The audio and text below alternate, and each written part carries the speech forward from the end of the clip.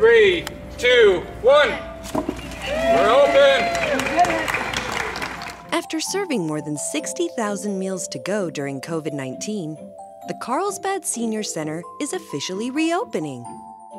Carlsbad seniors gathered in person for lunch at the center for the first time since March 2020. This room is our dining room, and we have meals five days a week, and it's become a very big social club for our seniors. The ability to sit together and be together at the table and share a meal together and have that that connection is, is just a really big deal. During COVID, senior center staff and community volunteers quickly retooled the popular lunch program to serve drive-through meals and even deliver meals during the stay-at-home order. Many seniors would tell me, this is the only time we come out of the house. We look forward to seeing you each day. And we'd have a lineup of cars coming through to pick up meals, and we got to 60,000. The drive-through was a daily chance to connect but nothing like returning to the center to see old friends. And it's not just lunch.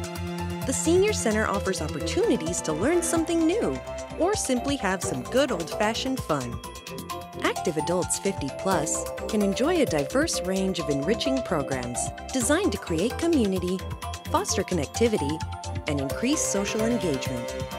Stop by the Senior Center today or check out our program schedule and lunch menu online at www.carlsbadca.gov slash seniors.